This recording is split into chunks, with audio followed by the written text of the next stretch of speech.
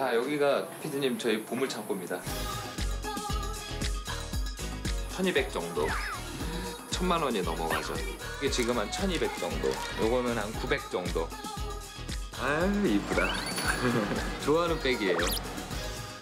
명품 가방을 좋아하는 남자. 아 이 가방들이요? 이 명품 가방들이 저를 명품으로 만들어줬죠. 명품이 만든 명품 사나이. 저뭐 X, 샷, 루이, 프라. 제가 하루에 한 2억 원 어치까지도 만져봤습니다. 하루에 만지는 명품만 2억 원. 명품이 있어야 사는 남자. 그의 손이 닿으면 마법이 시작됩니다. 어, 어 여기는 쫓아오면 안 돼요. 네? 아 여기는 여기는 안 돼요. 어 이- 이건 안 돼요 안 돼요. 예 이건 안 돼요. 이건 안 돼요. 철통 보안, 1급 비밀. 꽁꽁 숨겨놓은 명품 인생 되는 법. 그 놀라운 비밀이 공개됩니다.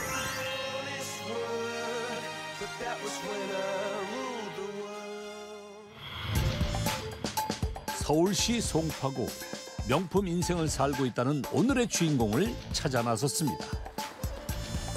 이 건물 안에 서민갑부의 가게가 있다는데요. 한눈에 봐도 작은 가게인데 손님들로 붐빕니다. 똑같이 코팅. 코팅 얘는 코팅이 필요한 아이예요. 네. 어, 이거 새 건데 하얀색이라 오염 저희 건물 잘될것 지하에 어. 같아서 코팅 하려고. 네. 네, 주차장 이거 옆으로 지하로 300만 들어가는 원. 길이 있어요. 그쪽으로 해서 가게를 찾은 손님들이 찾는 것은 다름 아닌 가방. 여기 가방 파는 곳인가요? 바꿨어요. 그때 얼룩 져갖고 이거 얼마예요? 모르겠어요. 이거 한 300, 400, 300, 700. 천만 원 정도 될 거예요. 가방 세 개 가격이 무려 천만 원. 어떻게 오신 거죠? 아니 네. 백이요. 네, 작년에도 이렇지 않았는데 네. 아니 어제 이걸 꺼내 보니까는 이래서 나는 그냥 물로 하면 되는 줄 알고 해봤더니 네. 안 되더라고요. 안 되시죠? 그런데 이 손님의 가방엔 뭔가 문제가 있는 것 같지요? 난 이게 안 되는 줄 알았어요. 이거 해도 이게 안 지기 때문에 아이고 아깝게 시리 이백 버리나 보다 하고는 했는데 뭐 거진 원상복구가 된다니까는 한번 해봐야죠. 지금 오래됐어요. 이거 몇년 산지 한 30년 넘었어요. 30년 넘으셨어요? 예. 그럼 이거 그만 버리실 때 안 된 거 된 거 아니에요? 아, 이런 거는 이백 같은 거는 잘 안 버리죠. 지금 제가 50인데 네. 아가씨 때 들었던 거라 아마 최초의 명품이라면 최초에 샀던 것 같아요. 지금 기억에. 아, 첫 번째로. 예, 지금 결혼한 지 23년 됐는데 이걸 버리지 못한다는 거는 추억이 있었다는 거겠죠. 아, 그러면 잘 고쳐서 우리 딸한테 물려주려고요. 어, 지금 딸이 계획. 고1인데 네. 금방 2년 후면 금방 들잖아요. 다 가능하세요. 아 그래요? 원하시는. 그러니까 어느 가격이 이하면 가격이 그러니까요. 저렴하게 할 수 있죠. 아, 명품 가방을 수선하는 전문점이었군요. 명품은 가격도 비싸지만 사연도 있어 수선해서 오래 쓰고 싶은 마음이 누구나 똑같은데요. 특히 여자 손님들이 많습니다. 그런데 이때 가게 안으로 들어오는 남자 손님 어떤 사연으로 찾아왔을지 궁금합니다. 이거를 갖다가 네. 이런 걸 안 넣어놓고 네. 같이 그러니까 이것만 넣어놓고 이거 저희가 모르니까요. 그래서 이렇게 해놨는데 쪘는데 여기가 이제 이렇게 다 나가갖고 뭐라 그래 이게 벗겨졌거든 그래갖고 네. 벗겨진 거 이제 사장님이 뭐야 술이 뭐 장인이시라고 그래갖고 찾아왔습니다 지금. 어, 예. 어디서 오셨어요? 전 분당에서요. 네. 결혼할 때그 하도 난리를 쳐서 네. 하나 샀는데 아끼고 아끼고 아낀다고 하다가 네. 아끼다 똥 돼서 안에 거 요거 뜨고 비용은 3만 원 들어가요. 3만 원. 네. 예, 할게요. 뭐 접수해 드릴까요? 네.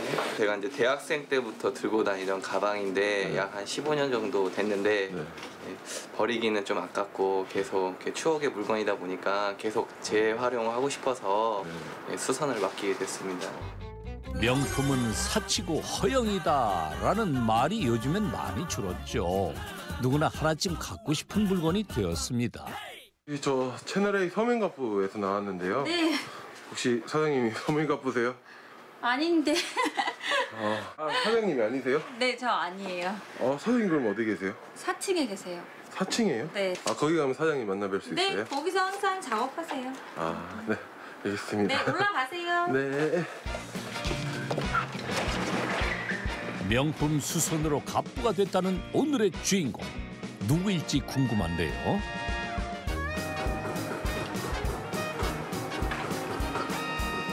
안으로 들어가 보니 손님들이 드나드는 곳과 달리 규모가 꽤 커 보입니다. 각자 작업에 집중하느라 제작진이 와도 관심을 보이지 않습니다. 사장님이 누구일지 이럴 땐 제작진 경험상 하나만 물어보면 답이 나옵니다. 능력이 어떻게 되세요? 저요? 네. 30년이요. 69년도부터 되니까 그 45년 지금 50년 다 되잖아요. 20한 5년 되나요? 30년 아직 안 됐어요. 수십 년 경력을 자랑하는 수선 장인들 가운데 제작진이 선택한 오늘의 주인공은 경력으로 보나 연륜으로 보나 이분이 확실한 듯한데 사장님 맞으시죠? 난 친구니요, 친구니요. 70대 최고참 직원이시라네요. 사장님 어디 계세요? 저 계시잖아요. 미싱 박잖아요. 미싱 받고 계신다고요? 예. 저기 저 구석에서 재봉하는 남자? 서민가분 맞습니까? 사장님? 사장님 되세요? 네, 저 사장님인데요. 아 사장님이세요? 사장님이 갑부라고 소문을 듣고 왔는데 혹시 맞나요? 아니 제가요? 네. 아 갑부는 아닌데 갑부라 그러시니까 기분은 좋네요. 명품이여 나에게 오라. 명품 수송계 미다스의 손 이현석 사장. 명품 수선을 시작한 지 올해로 16년. 이게 몇 번? 수십 년 경력의 수선 장인들도 현석 씨의 조언을 듣습니다. 아, 색- 색을 조금 해가지고 잘 맞추세요. 좀 많이 많이 발라야 되는데. 냉하면 안 되니까 이 띠는 아니에요. 아, 그래요? 음, 어, 저 같으면 안에 거를 다 끝내고 네. 밖에를 빵빵하게 채우고 네. 그리고 하는 게 나아요. 안에 네, 그래야 테이프 쳐도 테이프 잘 안 움직일 거 아니에요. 하시고 나중에 색 조금 틀리면 네. 위에서 살짝만 잡아주면 될 것 같아요. 그 색에서. 네. 젊은 사장에게 꼼꼼히 물어보는 직원들. 있잖아요. 사, 새로 사가지고 온 거. 아, 어두운 거로? 어, 어두운 걸로 해가지고 근데 그래야, 그래, 될것 그래, 같은데. 어두운 거로? 그렇죠. 어두운 걸로 맞춰야죠. 너무 생뚱 맞으니까 그거. 다 하실 줄 아니까. 아 사장님 다 하실 줄 아세요? 예, 예. 장점이 상당히 많은 부분이죠. 아 그러니까 뭐, 컨트롤, 컨트롤 타워 역할을 하는 거죠, 충분히. 저희는 아예 전문적으로 좀 나뉘어져 있는 시스템이에요. 어. 예, 그래서 이제 구두 파트, 가방 파트, 염색 파트, 어. 예, 그 다음에 이제 고객 지원팀, 관리팀 이렇게 해서 네. 이제 네 개 파트로 이제 나뉘어져 있습니다. 저희 평수가 140평 정도 돼요. 직원이 총 저희가 9명 정도 있습니다. 분야별로 나눠 작업을 하는 것은 다양한 명품 제품들을 수선하기 위한 현석 씨의 노하우이기도 하죠. 사장님의 중요 파트는 어떤 겁니까? 저는 이거저거 다 합니다. 잡동? 예, 예, 저 잡부입니다. 이거 잡부. 예, 예, 잡부입니다. 못하는 게 없다는 말이기도 하겠죠. 초보 2개월 차 직원이 현석 씨를 찾습니다. 거래처에서 수선을 맡긴 가방들인데요. 얘는 가죽을 네가 골라줄 때 주의해야 되는 게 루이은 철망 모양이 들어가는 거고 예. 그 다음에 아, 다른 브랜드 뭐 토, 이런 데는 사피아노야. 예, 예. 오늘 루이 많이 들어왔네. 예. 거래처에도 많이 왔구나. 예. 어, 이 중에 가품이 있는 것 같은데? 너 알아? 가품이요? 응. 전잘 모르죠 저는 아직 어? 아, 신입에겐 아직 진품 구별이 어렵습니다. 내가 오늘 가품 강의를 하네. 넌 손을 들어. 어. 왔을 때 스티치 시작점이 어딘지를 봐야지 돼. 어, 시작이 여기서 돼서 이렇게 돌아와서 여기서 끝나. 그러니까 하나, 둘, 셋, 넷 여기 있지. 여기가 두 번씩 감아져 있어. 여기는 시작점이 어디야? 찾아봐. 시작점이요? 어. 두 개, 실이 두 개가 겹치는 라인이 있을 거 아니야. 예. 좀 여기 시작점이 여기 아닙니까? 이 모델에 스티치가 여기에서 두 번이 들어갔다? 예. 그럼 얘는 그냥 가품. 손잡이 V자 모양의 세 번의 박음질이 된 것이 진품인 것. 눈 감고 그러면 만지고만 해도 아시나요? 만지고만 알 수 있죠. 아 진짜요? 그럼요. 만져보기만 해도 진품 구별이 가능할까요? 겉보기엔 모두 같은 브랜드의 가방인데 과연 촉각만으로 진짜 가짜 구분이 가능할지 한 번도 시도해보지 않았다는 현석 씨 촉각만으로 가짜 제품을 찾아내는 미션 이 중에 가짜 제품은 두 개입니다. 자 스타트. 미세한 차이는 현석 씨만 알 수 있겠죠? 과연 성공할 수 있을까요?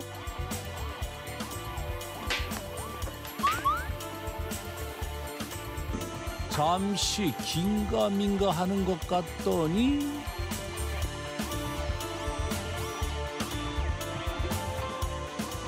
가품. 가품. 예. 에 맞췄네. 맞아요? 예 맞아요. 두 개가 가품이에요. 진품 구분에도 미다스의 손이네요.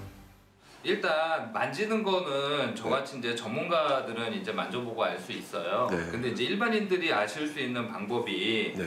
이제 뭐 실이나 뭐 이런 부분도 있지만 네. 일단 가장 중요한 거는 손잡이. 저는 손잡이는 안 만졌잖아요. 네. 손잡이의 두께가 틀려요. 두께가 네. 보시면 3.3 정도 나오시죠. 그러면 네 진품 다른 걸로 지금 그 옆에 있는 걸로 재드릴게요. 자, 3.3. 네, 요거는 편차가 약간 있는 거. 자, 2.4. 네. 진품인 경우 손잡이 줄의 두께가 평균 3.3mm라고 합니다. 다음은 색만 다를 뿐 도무지 구분이 안 가는 가방인데요. 여러분은 어떤 것이 진품인지 구분이 되시나요? 자석을 갖다 대면 진품이랑 가품을 또 구별하실 수 있는 또 하나의 또 방법으로 쓰실 수 있어요. 체인이 있는 경우 자석으로 할 수 있는 구별법인데요. 하나는 체인에 자석이 붙어 있고 다른 하나는 붙지 않습니다. 과연 어떤 가방이 진품일까요? 이게 가품입니다. 철 제품에다가 도금을 해서 대부분 사용을 해요. 그래서 자석을 갖다 대도 네, 붙지 않습니다. 신주는. 진품은 황동을 사용해 자석에 붙지 않는다는군요.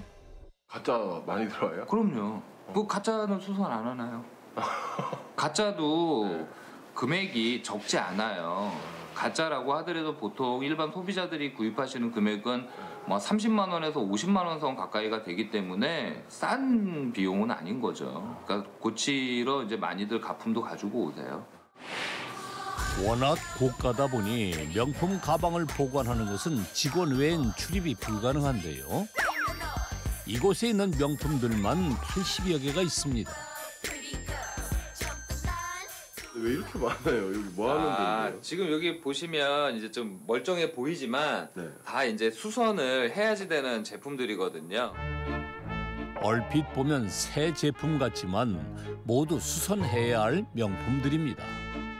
오염이나 변색으로 가죽이 훼손되어 수선을 맡기는 경우가 대부분이라고 하죠.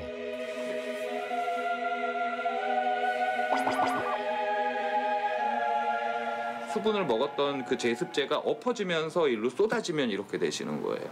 이 밑에 쪽이 이제 제습제에 의해서 이제 다 굳어가지고 경화가 된 상태인 거죠. 보관 미숙으로 원래의 제품과는 완전히 다른 가방이 되었습니다. 지금 이 부분들은 다 컴퓨터 자수로 누볐던 부분이거든요.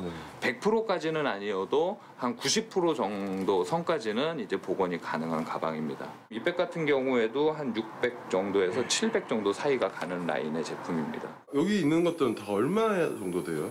여기 있는 게 보통 저희가 한 2억에서 한 3억 정도가 왔다 갔다 하는 금액이 있어요. 오호, 정말 억소리가 나네요. 10년 전 구입 가격이 250여만 원인 명품 가방. 제습제가 쏟아져 가죽이 훼손되었는데요. 가장 먼저 하는 작업이 있습니다. 지금 이제 가방을 가죽을 다 교체를 해야지 되는 상황이어서 일단 장식이나 가죽을 일단 해체를 하는 작업부터 이제 하는 겁니다. 아 그거 앞에 가방을 해체한다더니 그쪽으로 좀 짚어. 네 앞쪽으로. 해체하다 말고 헤어 드라이기를 준비하는 현석 씨. 가죽에 적당히 뜨거운 열을 가해 보다 쉽게 해체를 하기 위한 건데요. 또 열을 가하면 좀 있는 본드 성분들이 잘 좀 떨어지게 되기 때문에 장식을 빼는데 좀 수월해져요. 액세서리 장식을 제거한 후 가죽의 원형을 살리며 박음질된 실을 조심스럽게 제거합니다. 이제 분해는 다 끝났습니다. 예. 해체 작업으로 산산조각이 난 가방의 가죽에 하나하나 치수를 재는데요. 얘는 다 그 우글쭈글해졌었잖아요. 그러니까 이거 가지고 만들면 다시 또 우글쭈글한 그 형태로 나오니까 얘가 원래 있었던 사이즈를 그 남아있는 다른 부분으로 유추해서 그 사이즈대로 이제 본을 뜯는 거죠. 교체할 새 가죽을 재단하는 작업. 재단은 수십 년 베테랑들도 어려워하는 고난이도 작업입니다.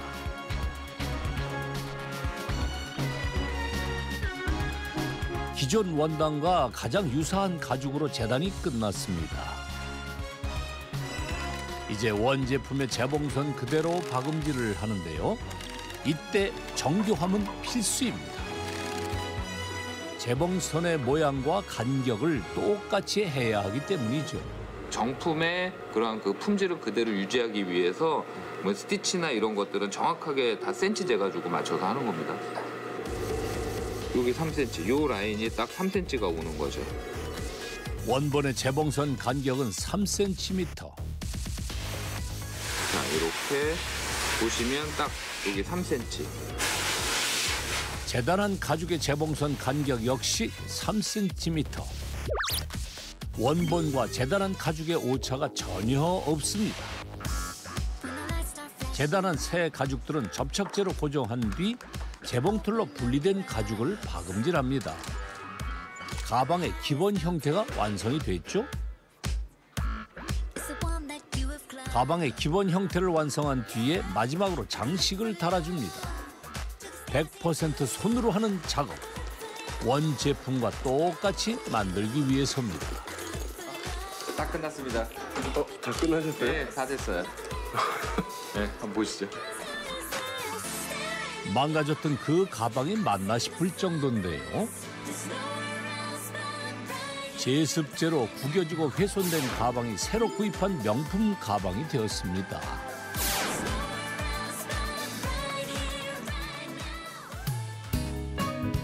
복원이 끝난 가방들은 사진 촬영을 합니다.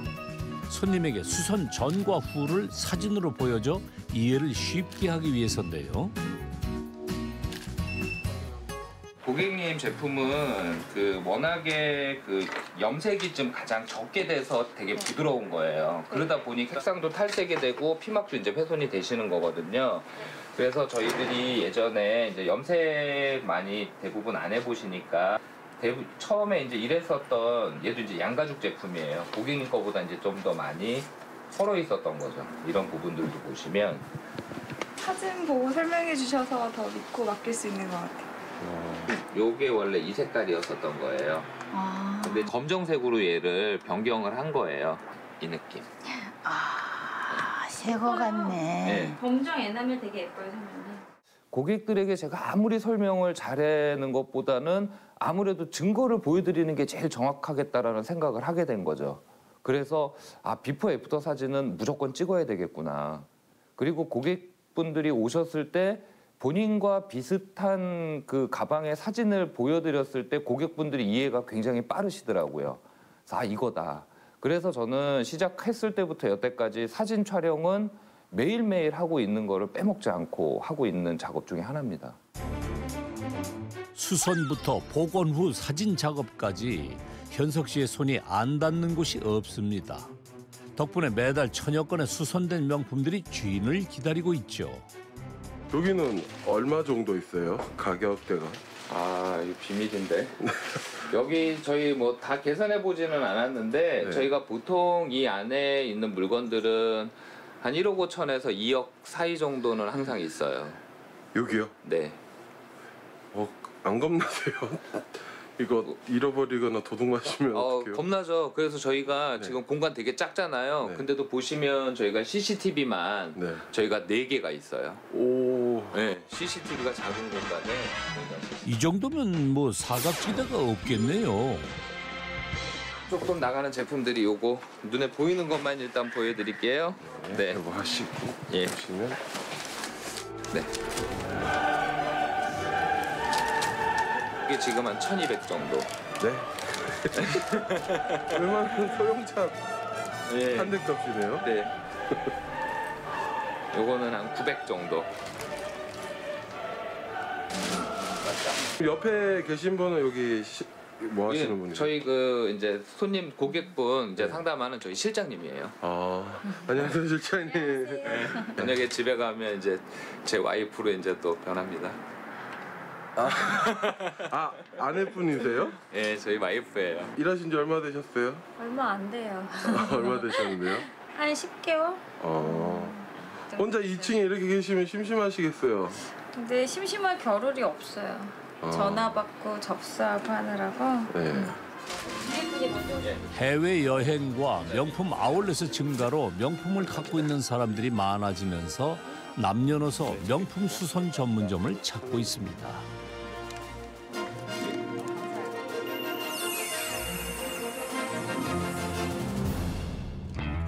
영업 시간 종료. 하루 매출을 정산하는데요. 현금이 꽤 많아 보입니다. 한 110만 원. 110만 원. 좋으세요? 어, 뭐니 뭐니 해도 현금이. 현찰이. 현금 매출은 110만 원. 카드 매출이 남아 있죠? 카드 매출은 약 130여만 원. 현금과 카드 매출을 합한 결과 오늘 하루 벌어들인 총 수입은 약 240여만 원입니다. 한 달이 얼마예요?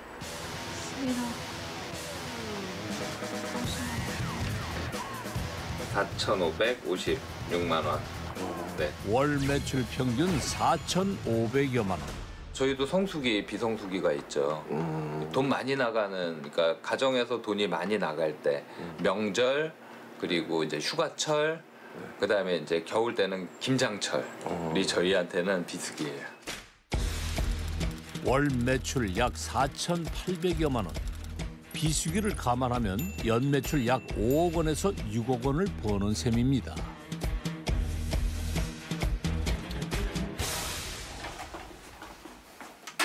이제 끝났나 봐요. 네, 이제 집에 가야죠 저도. 손님들 상담과 수선 작업을 하느라 바쁜 하루를 보낸 현석 씨. 퇴근은 늘 마지막입니다. 이중막이네요. 네. 어유 비싸잖아요. 뭐가요? 이 안에 있는 제품들이요. 아, 네, 절대 그 하면 안 되니까 이중으로 잠궈야죠.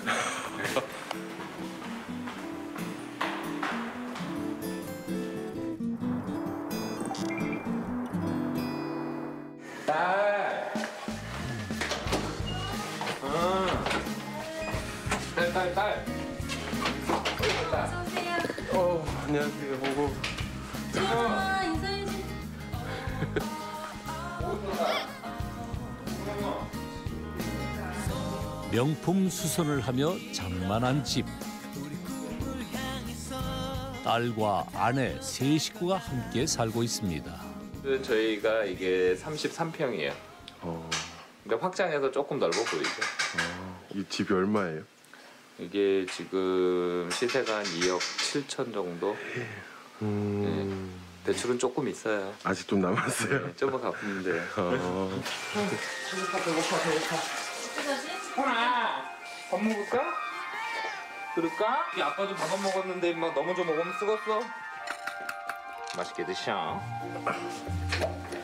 명품 만지시니까 네. 집에 혹시 명품 있지 않으세요? 없어요. 없어요? 네. 진짜요? 네. 뒤지면요? 없어요. 아니 뒤져서 나오면 뭐 저, 저희 좋죠. 명품 수선을 하는 사장님 집에 진짜 명품이 없을까요? 집안 구석구석을 살펴보는 제작진. 그래도 한 개 정도는 나올 법한데 저게요? 보세요. 없어요. 없어요 여기. 여기 다 추리닝, 잠옷. 다 이런 옷들이에요. 뭐 있는지 없어요. 저기. 아, 이거 벨트 있는데요? 찾았습니다. 이거, 이건 진짜죠? 아 이건 오리지널이에요. 응 맞아요. 이거 있잖아요. 아, 아, 돈 주고 산 게 아니에요. 그때 잘못 잘랐어요, 벨트를. 아, 그래서 제가 지금 거의 한 10년 넘게 찼죠. 그 요번에 다시 한번 가죽만 교체해가지고 다시 지금 차는 거예요. 돈 주고 산 거 아니에요. 확실해요? 그럼요. 하나만 있나 했더니 제작진 눈에 들어온 명품 가방. 여기 또 가방 또 있는데요? 아이, 그것도 아니에요. 그거 그 저. 가방 있잖아요. 아, 왜 자꾸 이 찾아가지고 사람 민망하게 만드네. 아, 이거는 네. 저희 그첫 삼촌 네. 딸이 네. 버린 거예요. 안 쓴다고 그 네. 집사람이 가지고 왔어요. 그래가지고 어, 가죽만 싹 교체해 준 거예요. 손잡이하고. 어. 이것도 어품이 있는 거네요. 응? 예, 이거 이외에는 진짜 아무것도 없어요. 밖에서는 힘든 세밀한 수작업을 하고 있지만 집에서는 딸 바보인 현석 씨. 옆에 누구예요? 아이, 어? 저희 미님이 제 딸. 안녕하세요. 안녕하세요. 몇 살이에요? 저 15살입니다. 어, 이거 김치 먹어봐요. 항상 늦게 퇴근하는 현석 씨를 기다려 가족이 함께 저녁 식사를 한다고 하네요. 저 배고파요. 그래도 안 먹는데도 아빠 옆에 딱 붙어 있네. 저희는 밥 먹을 때 네. 딸이 먹어도 제가 있어야 돼요. 왜요? 못 가게 해요. 왜요? 자기 밥 먹는다고. 그래서 제가 밥 먹을 때도 못 가요. 먹을 때까지. 밥 먹을 때까지. 복수예요? 아니에요. 서로에 대한 예의예요. 음. 복수란 임마. 귀여워. 고됐던 하루가 가족과 함께 있으면 사라진다는 현석 씨. 하지만 마음 한 구석엔 가족에게 미안한 마음이 늘 자리하고 있습니다. 그때가 참 힘들었죠. 아이를 유모차를 사줘야 되는데 유모차 사줄 돈이 없어서 정말 싼 유모차를 산 거예요. 유모차 바퀴가 안 굴러가요. 집사람은 못 끌어요. 저만 끌 수 있어요. 일자로 가지를 못해요, 바퀴가. 20대 후반 결혼과 함께 큰 돈을 벌어야겠다고 생각한 현석 씨. 형님, 나 이거 전세금 뺀 거예요. 망하면 큰일 나. 마. 절대 안 망해. 걱정하지 마. 회사를 그만두고 시작한 그의 첫 사업. 야, 이 돈 많이 벌어. 이게 구두 닦이지만 돈은 많이 벌어. 지인의 추천으로 구두 닦기를 시작한 지 얼마 되지 않은 어느 날 서해상에 머물던 장마전선이 접근하면서 중부지방에 새벽부터 요란한 장맛비가 내렸습니다. 그 해 장마는 끝날 줄 모르고 이어졌습니다. 딱 5일 일했어요. 네. 나머지는 휴일 플러스 비가 다 온 거예요. 그래서 둘이서 아마 100만 원도 안 되는 돈을 가지고 갔었던 것 같아요.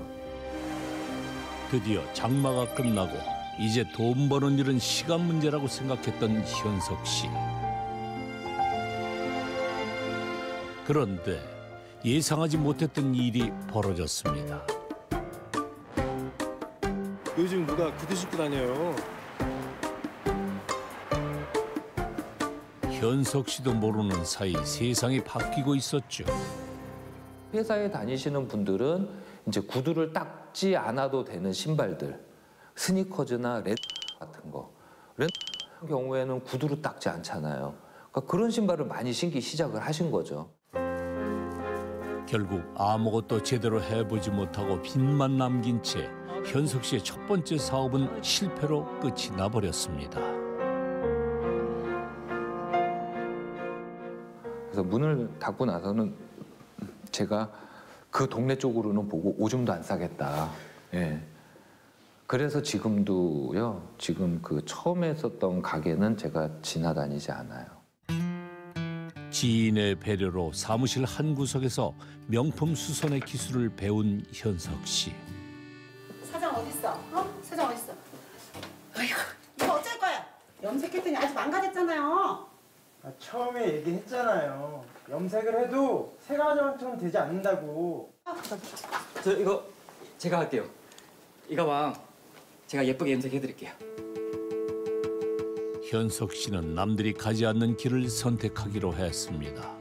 가죽 염색이었죠.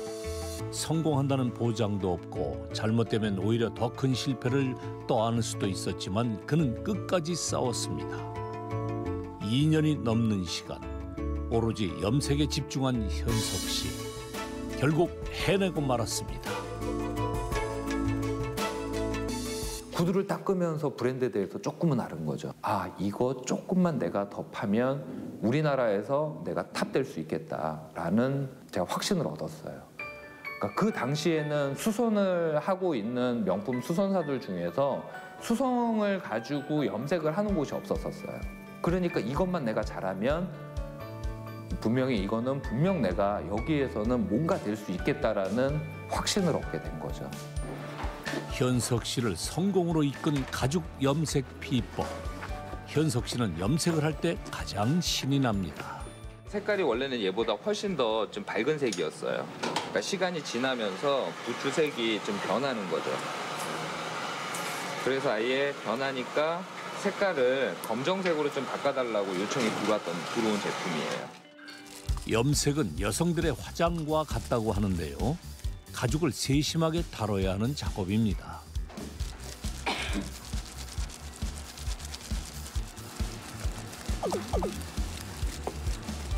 그런데 세심함과는 조금 거리가 있는 것 같습니다.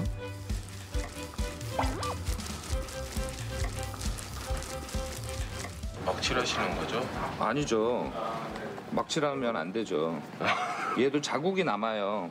그러니까 제가 막칠하는 것 같아도 얇게 넓게 펴줘야 예, 얘가 느낌이 좋기 때문에 예, 그렇게 칠하는 거예요. 막 칠하는 거 아니에요 절대. 막 칠하면 안 돼요. 전 모르신다고 그냥 그렇게 얘기하시는 아, 아니에요, 아니에요, 아니에요. 진- 진짜예요. 이거 붓칠하는 거 잘못 칠하면 말리고 나면 자국들이 붓이 갔던 자국들이 그대로 남아요. 예. 칠하시는 것 같은데. 아니라니까 진짜. 진짠데. 사장님이 너무 쉽게 쉽게 하시니까 그래요. 진짜요? 쉽게 하시니까. 대충 하는 것 같아 보이지만 붓자국이 남지 않게 세밀한 작업이 필요합니다. 검은색으로 염색이 끝난 부추를 들고 어딘가로 가는 현석 씨. 아직 염색이 끝나지 않았습니다. 장비를 이용해 가죽 표면 곳곳까지 색이 스며들게 작업을 해줘야 합니다.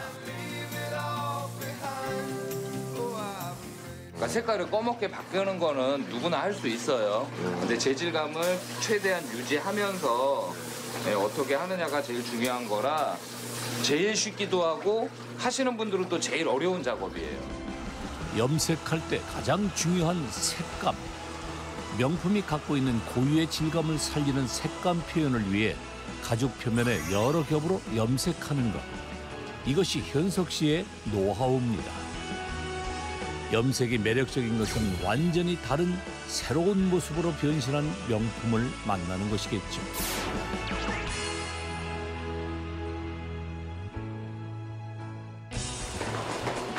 염색이 완성된 부츠를 들고 접수처로 내려가는 현석 씨. 완성. 신기하네요, 신기. 네? 기가 막힙니다, 진짜. 이게 참 기똥차네. 네? 기똥차. 기똥차요? 네. 아니, 나 이렇게 나올 줄은 몰랐지. 정말 신기하지 않아요? 흰색이 검정으로 이렇게? 부드럽죠? 예, 아주 좋습니다.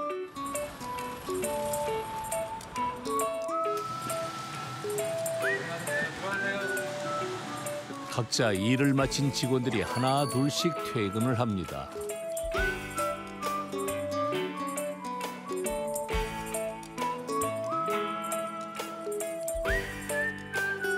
그런데 여전히 현석 씨만 작업실에 남았습니다. 뭔가 할 일이 남았는가 본데요. 어, 어 여기는 쫓아오면 안 돼요. 네? 아 여기는 여기는 안 돼요. 왜요? 아 여기 지금 먼지 때문에 네. 얘기했잖아요. 먼지 때문에 여기는 쫓아 들어오고 그러면 이 가방을 망쳐요. 그러니까 여기까지만 쫓아오세요. 회사를 움직이기에 먼지 안 날리게. 아니요, 얘는 정전기 때문에도 영향을 받기 때문에 네. 그래서 직원들이 있을 때도 제가 작업을 하지 않아요. 쫓아오지 마세요. 조금 움직일게요. 조금만 움직일게요. 아유 조금만. 예, 네. 예. 웬만하면 나가주시고. 네. 예. 작업에 방해되지 않게 최대한 조심히 지켜보기로 했습니다. 에나멜 코팅 작업인데요. 네, 지금 이런 것들이 에나멜 코팅에서는 아주 주적이에요. 그래서 거름망을 걸을 때에도 보통 한 번에서 두 번 내지는 거름망을 지금 이거 같은 경우에는 세 겹을 끼는 거예요. 에나멜 코팅 작업을 할 땐 단 한 개의 먼지도 묻어서는 안 되는 거죠. 그래서 이 공간에선 작업하는 사람만 있어야 된다고 합니다.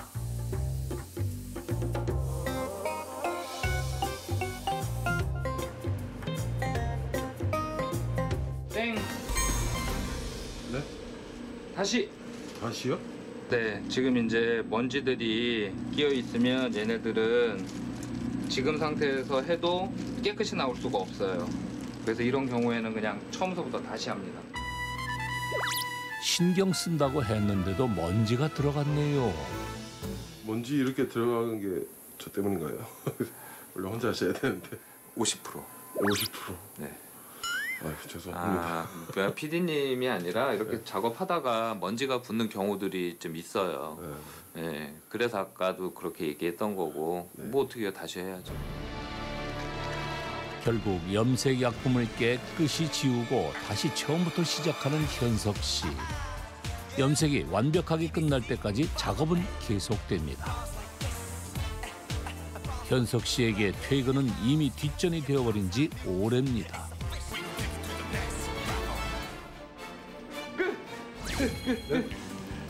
뭐라고요? 끝났어요. 어, 성공. 드디어 마무리된 에나멜 염색. 이제 건조실에서 말려주면 되는데요. 염색만 했을 뿐인데 반짝반짝 새로 산 가방 부럽지 않네요. 이제 빨리빨리 나오셔야 돼요. 여기 먼지가 이제 여기는 먼지가 타면 안 되는. 네. 제일 좋아하시는 것 같은데요, 지금 촬영하면서. 제일 좋아요. 아무리 오랜 시간이 걸려도 완벽한 제품이 나올 때까지 타협하지 않는 현석 씨. 이러한 노력이 그를 서민갑부로 만들었습니다.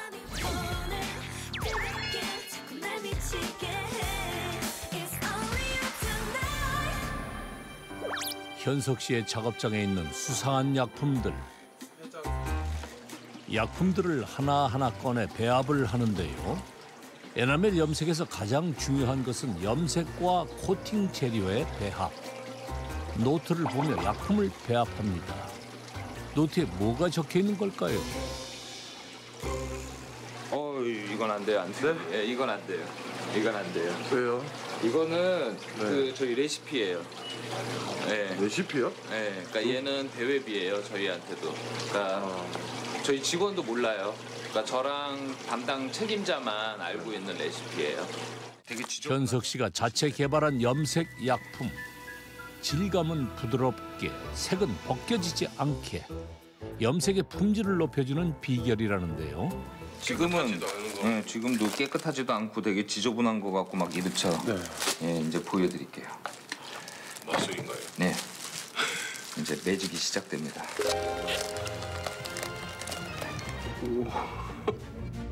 약품으로 닦은 곳과 닦지 않은 곳 빛나는 정도의 차이 보이시나요?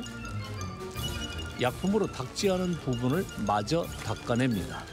신기하죠? 이게 이제 제가 특허를 받은 이제 염색 에나멜 염색 방법인 거죠. 아 진짜요? 네. 약품을 바르면 닦아만 줘도 염료가 에나멜 가죽 내부로 침투되는 염색 방법을 개발했는데요. 명품 수선 전문점 최초로 특허 등록까지 했습니다. 수많은 시행착오도 있었지만 염색을 향한 끊임없는 연구와 노력으로 그는 서민 갑부가 될 수 있었습니다.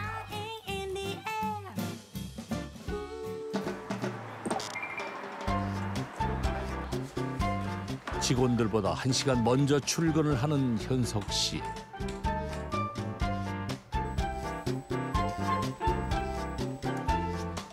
직원들이 없는 이른 시간 작업장 구석에서 뭔가 챙기는데요. 그도 40대 평범한 가장입니다. 뭐예요? 아 이, 이거 저기 보약이요. 보약이요? 누가 해주신 거예요? 이거 저희 집사람이 해줬습니다. 빨리 끝낼 수 있는 작업은 직원들보다 일찍 나와 작업을 끝낸다는 현석 씨. 수고하십니다. 아, 안녕하세요. 오늘 하루 수선 스케줄과 내용을 체크하는 일도 현석 씨의 일입니다. 여기 지금 파이핑 교체해서 들어온 가방 하나 있을 거예요. 그러니까 그냥 자연스럽게 비, 빈 듯하더라도 자연스럽게. 크리닝 해서 차장님한테 넘어올 거예요. 혹시 넘어오면 긴 줄 부분 끝쪽이 끊어졌으니까 고기만 보강해가지고 그건 좀 차장님이 확인 좀 해주세요. 직원들에게 설명을 마치고 작업장을 나가는 현석 씨. 발걸음이 바빠 보이는데요. 무슨 급한 일이 생긴 걸까요?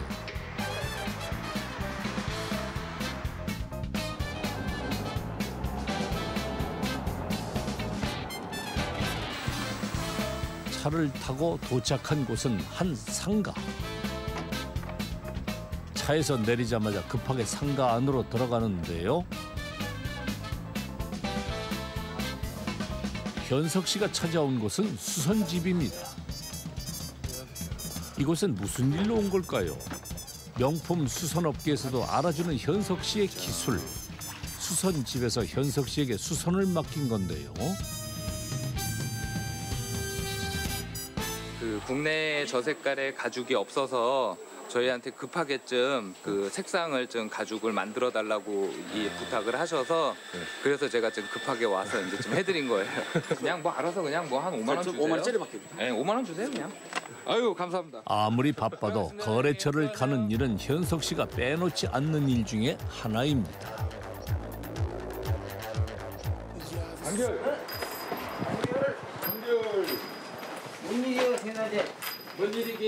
일 가지러 왔지요. 이거는 이제 검정색으로 검정색으로? 네, 염색을 좀 잘 부탁합니다. 음, 알겠습니다. 어렵다. 쉬운 난이도가 일이- 난이도가 좀- 쉬운, 쉬운 일이 없어. 난이도가 좀 있는 거죠. 줘요. 네. 잘 넣어 가야지. 우리 이사장님은 언제부터 하셨어요? 한 25년? 25년 25년 아니지 한 16년. 16년? 이제 나이가 먹어가지고 이제 기억력도 없어요. 25년? 25년은 사장님이? 했을 때지. 그러면 처음에 망하셨을 때도 아시겠네요. 이아 사장- 그럼요 잘 알죠. 어. 다 시련이 있어가지고 가슴 아픈 얘기지만 예, 그때도 이 조금 조금 공간에서 이렇게 예, 같이 일을 하다가 또 지금은 뭐 큰데 성공을 한 거잖아요 지금. 예. 어 여기서 예, 이- 하셨다고요? 예, 이 조그만 공간에서 하다가 네. 이제 지금 아주 그냥 뭐 엄청 크게 성공을 한 사례잖아요 지금. 어. 사장님 그럼 조그만 공간에서 했다는 데가 네. 지금 여기예요. 제가 옛날에 이제 뚫어놨던 곳이에요. 여기에서 한 한 평 정도, 요 앞쪽으로. 지금하고 비교가 되죠? 많이. 네. 어. 지금이야 뭐 엄청나게. 이거는 진짜 코딱지만 한 거지. 너무 코딱지만 해가지고. 지금 여기서 하라 그러면 어떻게 하겠어요? 그럼 어떻게 이걸 못하지? 못하지. 네. 명품 수선으로 서민 갑부가 된 현석 씨. 하지만 그 시작은 바로 남해 수선 가게 안에 있는 3.3제곱미터 한 평 남짓한 공간이었습니다. 모든 것을 잃고 다시 시작한 곳. 그가 포기하지 않았던 데엔 이유가 있습니다. 사춘기 시절 아버지의 사업 실패는 그의 인생의 밑거름이 되었습니다. 제가 입학식 다음 날까지 학교를 다니고 그리고 집에 편지를 써놓고 그리고 저는 이제 가출을 했습니다. 현석 씨의 철없는 행동은 어머니에겐 잔인함이었습니다. 시신은 여행용 가방에 담긴 채 낙엽으로 덮여 있었습니다. 경찰의 연락을 받고 다급하게 병원을 찾아간 어머니. 제발 아니기를 간절히 바랬습니다. 아, 저, 저, 잠시만요. 잠, 아니, 아니, 흥분하지 마시고요. 실종자 어머니 되세요? 네. 아니, 저희도 절차라는 게 있으니까 우선 아드님이 맞는지 확인해 보세요. 현석 씨가 가출한 이후 어머니는 시체 안치소를 찾아다니며 고통의 나날을 보냈습니다. 가정 환경이 어려운 것도 물론 그렇지만 음, 제가 부모님 가슴에 음, 그렇게 했다는 거를 참 지금 생각해도 좀 많이 죄송스러워요. 제가 조금 더 좀 다른 생각을 하고 있었더라면 그래도 저의 삶도 그전보다 더 나아질 수도 있었을 거고 저뿐만이 아니라 저 때문에 또 부모님 내지는 가족한테 음, 그런 마음의 상처를 드린 부분이 좀 마음에 많이 응어리로 남는 부분이 있습니다.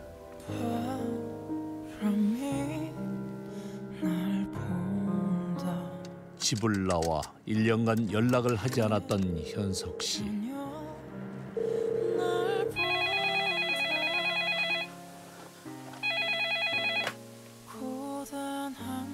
여보세요? 환자가 환자기니? 하지만 끝까지 믿어주고 방황하던 그를 잡아준 어머니. 어머니의 목소리를 듣는 순간 그는 무너지고 말았습니다.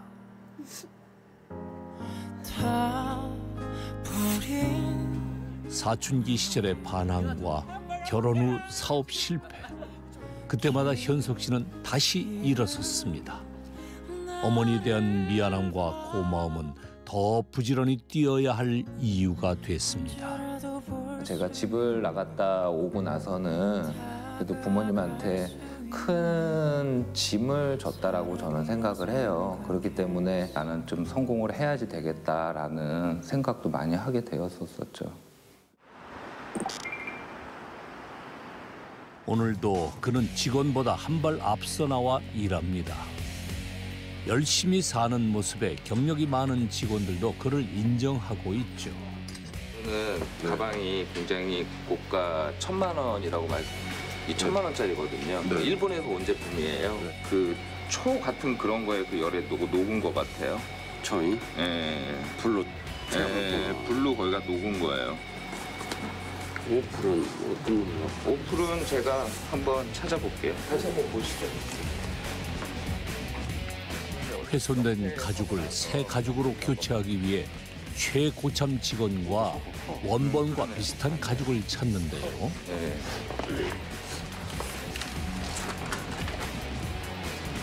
작은 흠집을 수선해야 하는 작업.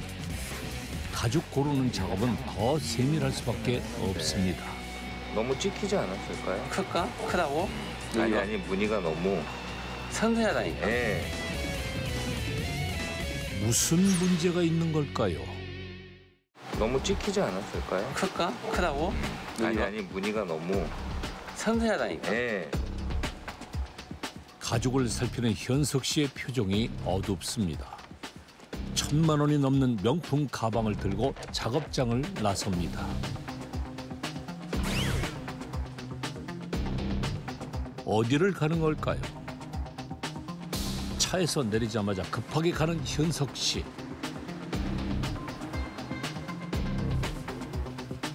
그가 찾은 곳은 가죽 가게. 수선해야 할 가방의 가죽을 찾으러 바로 나온 건데요. 가죽을 꼼꼼히 살펴보지만 아무래도 원하는 가죽이 없는 것 같습니다. 어, 이제 되게 빨리 움직이시네. 시장에 나와서는 빨리 움직여야지 돼요. 어, 아이고야. 색깔이 안 나오네. 에이. 다음에 올게요 사장님 수고하세요. 네, 들어가세요. 네. 안녕하세요. 가죽의 질감, 색감, 무늬 등 딱 맞는 가죽을 찾기 위해선 발품을 팔아야 합니다. 요거 한번 네, 찾았어요.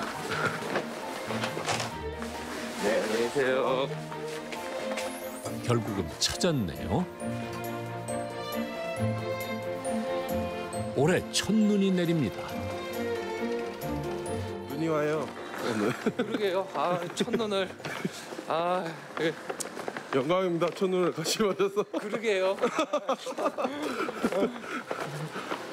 눈 오는데 놀러 가야 되는 거 아니에요? 아유, 눈이 오거나 비가 오나 이래야죠, 오늘이야.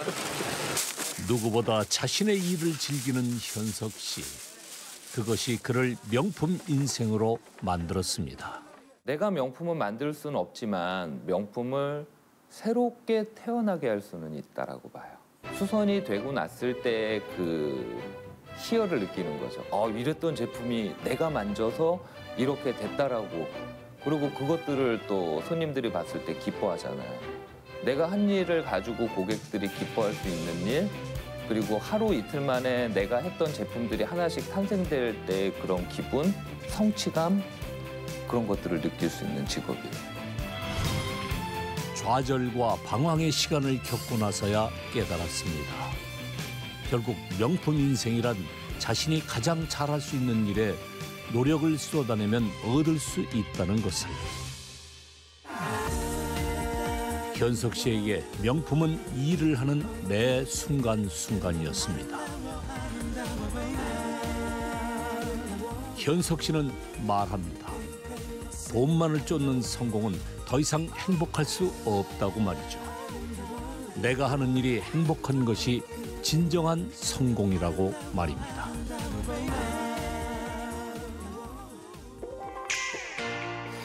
전통시장에 수상한 서민 갑부가 떴다. 화려한 외모로 손님들을 들었다 놨다 하는 그녀. 6천 원짜리라서 연매출 한 4억 정도. 겨울철 서민들의 추위 녹여주는 칼국수로 대박난 갑부.